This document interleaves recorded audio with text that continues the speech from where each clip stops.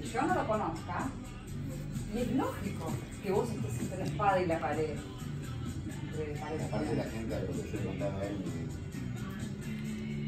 si ellos son la cuarta parte del dinero, me está presionando. Ah. Si ellos en realidad, si hizo tu negocio para que